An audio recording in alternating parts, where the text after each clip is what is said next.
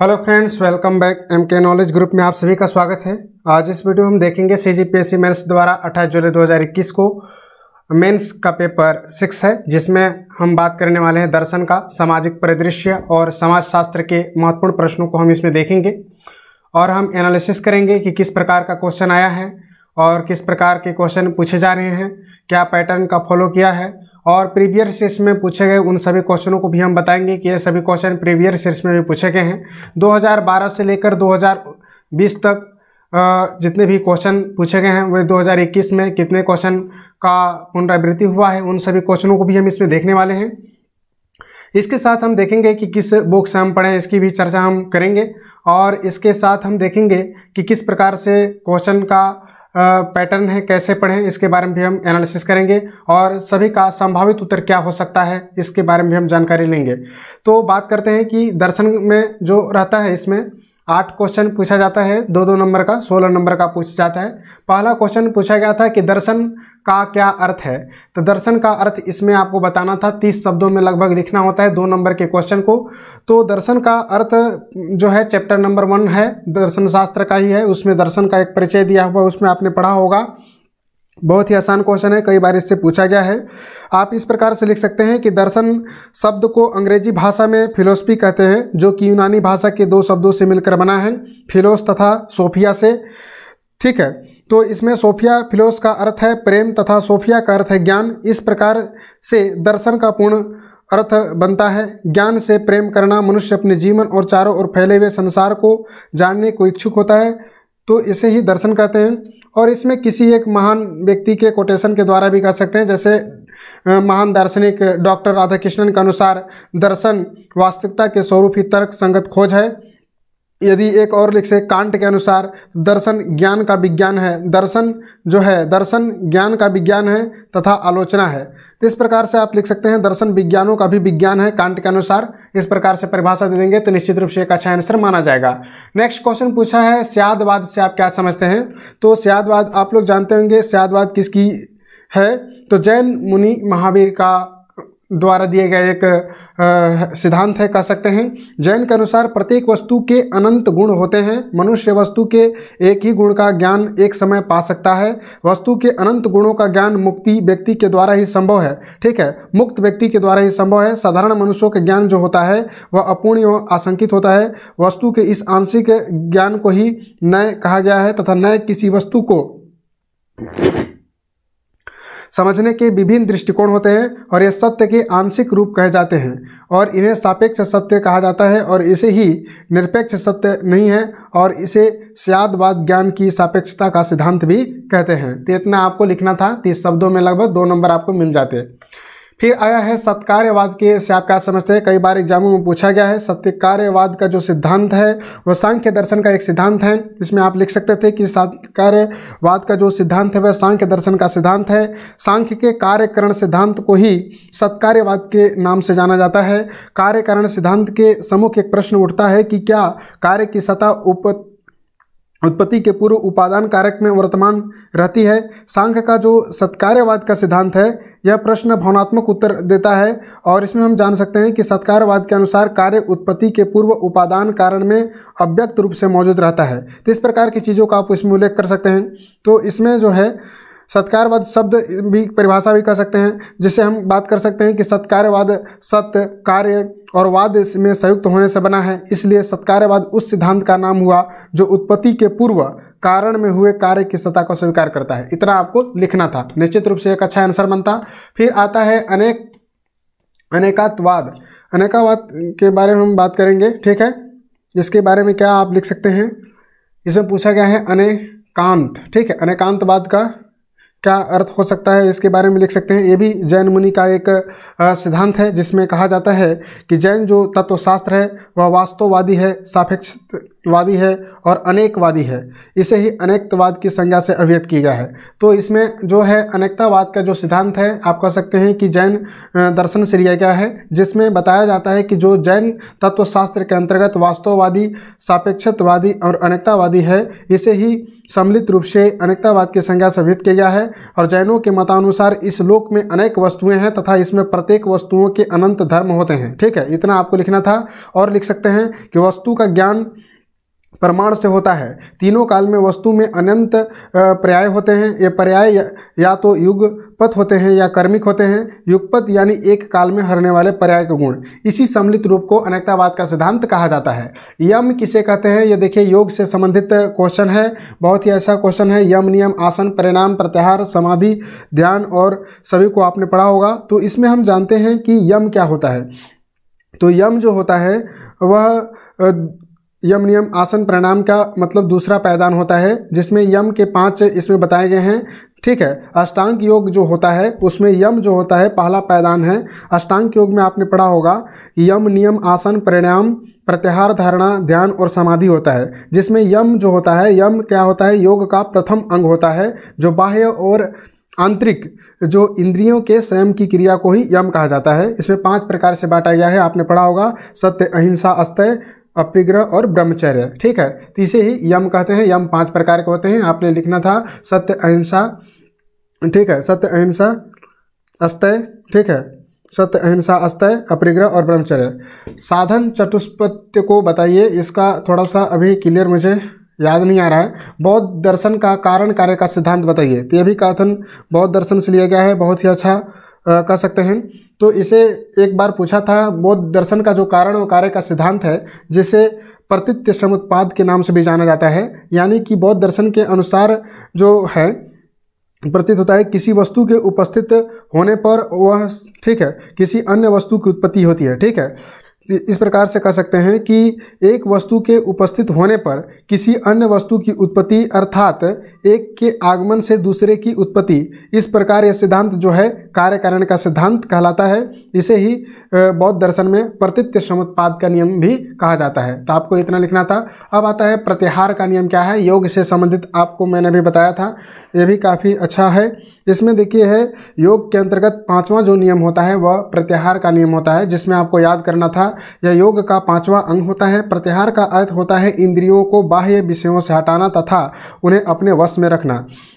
इंद्रियाँ जो होती हैं, वह स्वभावतः अपने विषयों की ओर दौड़ती हैं और योगाभ्यास के द्वारा और ध्यान के द्वारा इसे हम अपने वश में कर सकते हैं। अतः यह आवश्यक हो जाता है कि इंद्रियों को अपने अपने विषयों से संसर्ग नहीं हो और इस प्रकार से इंद्रियों अपने विषयों के पीछे न चलकर मन के अधीन हो जाती हैं और प्रत्याधार को अपनाना बहुत ही कठिन होता है। इसे क्या कह सकते हैं कि अनवरत अभ्यास और दृढ़ संकल्प के द्वारा इंद्रियों का जो है, संग्रह करना, अपने वश में करना ही प्रत्याहार कहलाता है। इतना आपको लिखना था।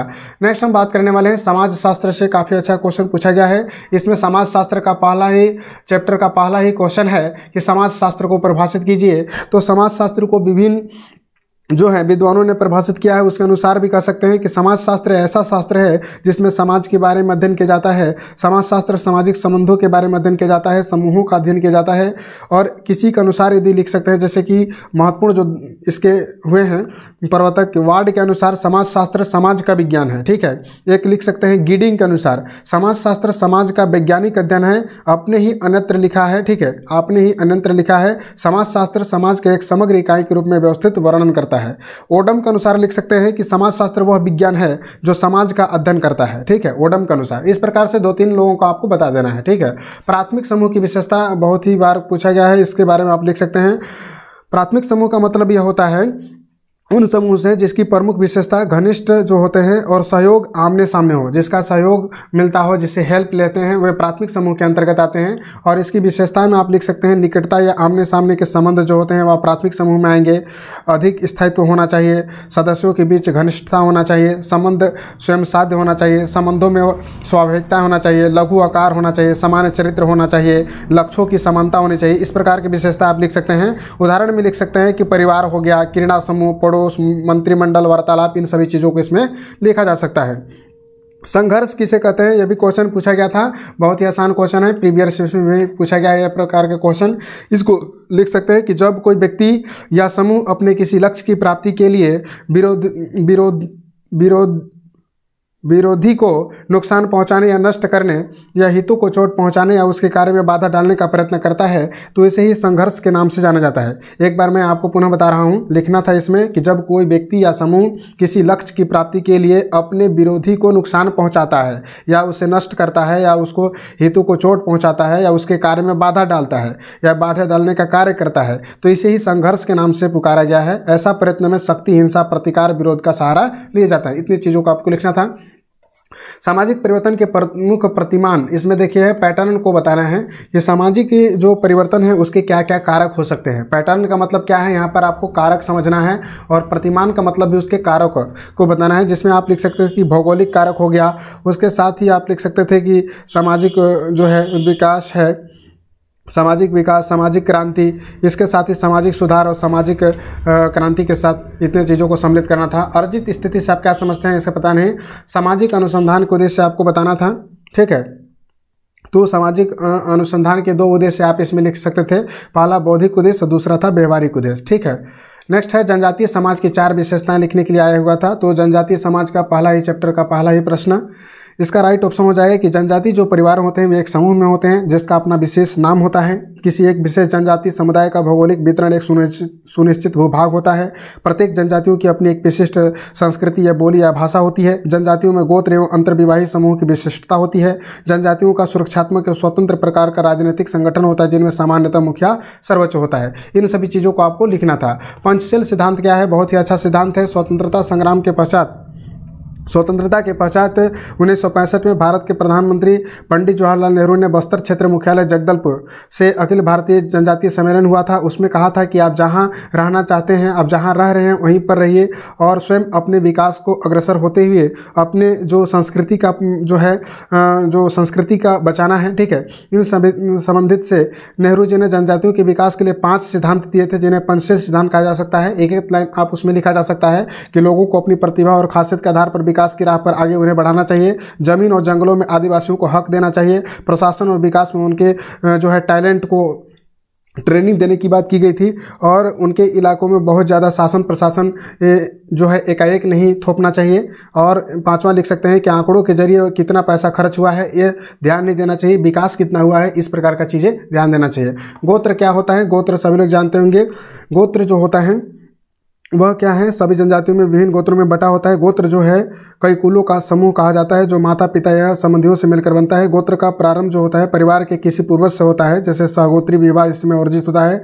इसमें प्राय जो नदी, पहाड़, पेड़, जानवरों आदि के नाम से होता है। यह गोत्र जैसे कि उदाहरण के लकड़ा, शेर हो गया, मरकाम, आम हो गया, नेताम, कछुआ, इस प्रकार की चीज़ें आप लिख सकते हैं।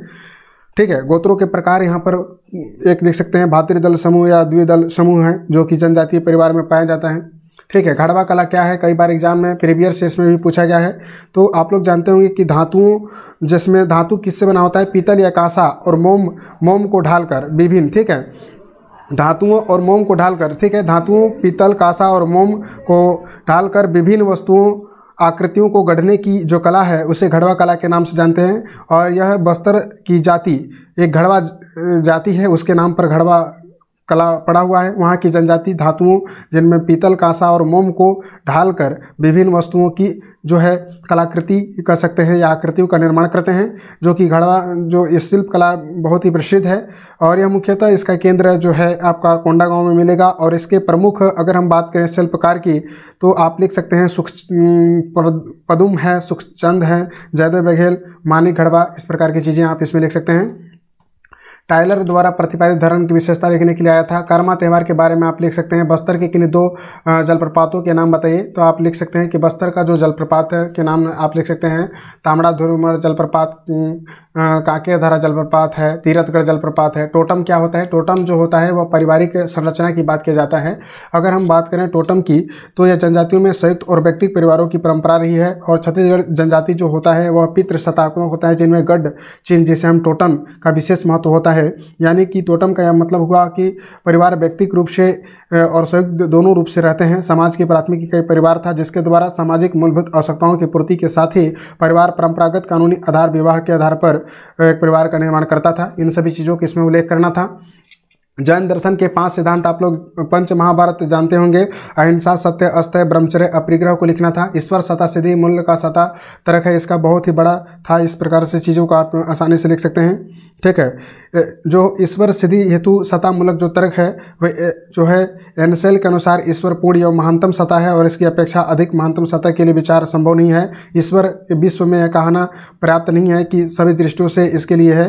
तीन चीज़ों का आप इसमें उल्लेख कर सकते हैं। धर्म और दर्शन में क्या संबंध रहा है इसमें आप लिख सकते हैं, दोनों का संबंध विश्व के मूल बहुत आधारभूत प्रश्नों से होता है, दोनों का लक्ष्य परमार्थ की सत्ता की खोज करना है, दोनों को भौतिक मूल्य से असंतुष्ट है, धर्म दर्शन की समीक्षात्मक विवेचना करता है परिणाम स्वरूप धर्म जो होता है, अंधविश्वास और रूढ़िवादिता से मुक्त हो जाता है। दर्शन, धर्म की दार्शनिक पृष्ठभूमि को सफलता प्राप्त करता है, ठीक है। इस प्रकार से यह दोनों एक दूसरे को इंटरकनेक्ट होते हैं, ठीक है? अशुभ के प्रकार बताइए तो अशुभ का प्रकार आप लिख सकते थे कि अशुभ दो प्रकार के होते हैं, प्राकृतिक अशुभ और नैतिक अशुभ। प्राकृतिक अशुभ जो प्रकृति में विद्यमान होते हैं, जैसे कि भूकंप, बाढ़, मृत्यु, रोग, अभाव, अज्ञान, इस प्रकार के जो होते हैं, वह प्राकृतिक अशुभ के उदाहरण कहा जाते हैं, जो प्रकृति में विद्यमान होते हैं। इसके अतिरिक्त विशाल, मरुस्थल, तूफानी, ज्वालामुखी, ये सभी भी प्राकृतिक अशुभ अंतर्गत रखा गया है। इसके अंतर्गत आता है एक नैतिक अशुभ। नैतिक अशुभ का अर्थ होता है, हम उन अशुभों से लेते हैं जो मानव के कार्यकलापों से उत्पन्न होता है। मानव के संकल्प जिसके अनुचित प्रयोग के फलस्वरूप नैतिक अशुभ का जन्म होता है, जैसे असत्य, अहिंसा, चोरी, डकैती, पाप इत्यादि अशुभ के अंतर्गत आएँगे, ठीक है? लाइबनीज के अनुसार चिन्ह अणुओं की श्रेणियों के यहाँ पर बात किया गया था, इसके अंतर्गत आप लिख सकते थे, महत्वपूर्ण क्या क्या थे उन चीज़ों को? इसके बाद पूछा गया था, परिवार एक सामाजिक समूह है, इसके बारे में बताइए। सामाजिक स्त्रीकरण के प्रमुख विशेषता यह जो है काफ़ी महत्वपूर्ण है। इसमें चार शब्दों में लिखना है, साठ शब्दों में। तो काफ़ी आसान क्वेश्चन कर सकते हैं, ये भी प्रीवियस इसमें पूछा गया है। जोगी मारा गुफा के बारे में बताना है। जोगी मारा गुफा जो है रामगढ़ में स्थित है। क्या क्या उनके महत्व रहा है? क्या क्या चीज़ें वहाँ से मिली हैं? जोगी मारा, सीता मगरा और चीज़ों का राजिम की ऐतिहासिकता के बारे में लिखिए। सभी चीज़ों के उसमें कौन कौन से तीर्थ स्थल हैं? क्या क्या महत्वपूर्ण चीज़ें हैं? राजिम जो होता है वह छत्तीसगढ़ का धार्मिक और पवित्र स्थल है, राजिम को प्रयाग कहा जाता है। इन सभी चीज़ों को आप लिख सकते थे। छत्तीसगढ़ में लोकवाद्य वाद्य यंत्रों का वर्णन कीजिए कि चार वाद्य यंत्रों के उदाहरण भी प्रस्तुत करना था। सभी जो लोग मंत्र मादर, झांझ, गढ़वा बाजा, बहुत सारे ऐसे बाजा हैं। डफली है, रागी है ठीक है, इन सभी वाद्यंत्रों को बताना था कौन कौन गीतों में प्रयोग होते हैं, उनके वर्णन करना था। इंदिरा कला संगीत विश्वविद्यालय की स्थापना उन्नीस सौ छप्पन में किया गया था, संगीत के क्षेत्र में दिया गया था। ठीक है तो इसके बारे में लिखना था, उन्नीस सौ छप्पन में किन उद्देश्यों से किया गया था तो संगीत की स्थापना के लिए महत्वपूर्ण रूप से खैरागढ़ के राजा जो थे, उन्होंने किए थे। इस प्रकार की चीज़ों को इसमें वर्णन करना था। नेक्स्ट यहाँ दिया गया है, बौद्ध दर्शन का अष्टांगिक मार्ग। ठीक है, दृष्टि संकल्प संकल्प दृष्टि। ठीक है, दृष्टि संकल्प वाणी, इसके बारे में लिखना था, जो है महात्मा बुद्ध के अनुसार इसमें महत्वपूर्ण चीज़ों का अष्टांग जो मार्ग है जिसमें सम्यक दृष्टि, सम्यक संकल्प, सम्यक वाणी, सम्यक क्रमांक, सम्यक आजीविका और सम्यक ठीक है। व्यायाम, स्मृति और समाधि के बारे में जो अष्टांग मार्ग था बौद्ध दर्शन का प्री में भी इस प्रकार के पूछा था। इसमें थोड़ा डिटेल में लिखना होता है, क्योंकि आठ नंबर का पूछा है, सौ शब्दों में आपको इसको लिखना था। सांख्य दर्शन के किस प्रकार पुरुष की सत्ता सिद्ध करता है, यह भी आठ नंबर का था, सौ शब्दों में आपको लिखना था। सांख्य दर्शन में काफ़ी आसानी से क्वेश्चन मिल जाएगा, कई बार पूछा गया है। मैं सोचता हूँ, यह भी कई बार कुछ पूछा गया है, इन सभी चीज़ों को भी आप आसानी से लिख सकते हैं। संस्कृति क्या है? बहुत ही आसान क्वेश्चन है, कई बार एग्ज़ाम में पूछा गया है, यह भी कई बार एग्ज़ाम में पूछा गया सामाजिक विघटन क्या होता है? समाज के अंतर्गत जो समाज का बिखराव होता है, उसके बारे में इसमें लिखना था कि क्या क्या महत्वपूर्ण चीज़ें हो सकती हैं।